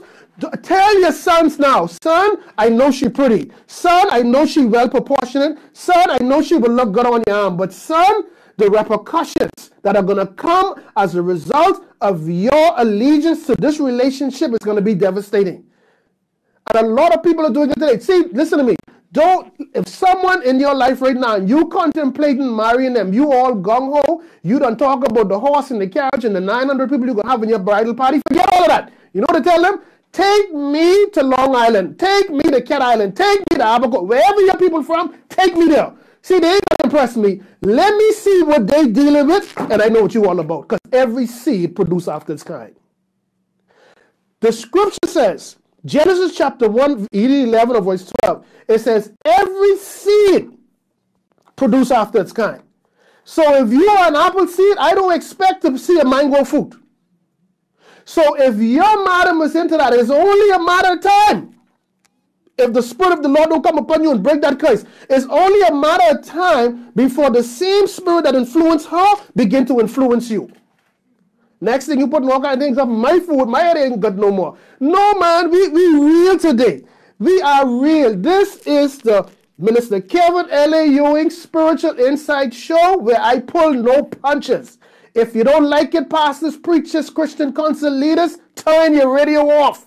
Okay? These are for those who want to be spiritually educated, who want to now grab a hold of their life and begin to move into what God has called them to do. It will not happen under that dead edifice you're at. It will not happen under that place they're cranking up that fast music and slow music, spinning around seven times, running your head into the pulpit and doing all of that, and then emptying your pockets and you still in the same position you used to be in. No, no, no, no, no. We dealing with the spiritual laws that's what we're dealing with. We dealing with what the principles, what the rules, what the policy. God, I don't want to be broke no more. How do I break the spirit of poverty? How do I break the spirit of insanity? How do I break the spirit of backwardness? How much longer do I have to sit back and watch my children fail in life? How much times I gotta beat my five-year-old for lying, but no one told me about a lying spirit. This little girl who I love, my daughter, and whomever, this promiscuous, how come nobody never told me about the spirit of love? How come nobody never directed me to Numbers chapter 5 that speaks about the spirit of jealousy? How come? Why aren't they teaching me these things? Why, after 30 years of being a Christian, I accidentally turned to Dove 103.7 listen to this crazy man talking about these spirits, and nobody never told me this before?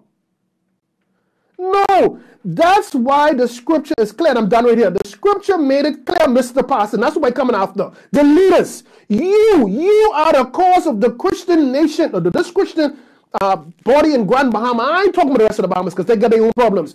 This is why we can't go forward. Y'all playing church. Y'all playing Mickey Mouse at the expense of other people.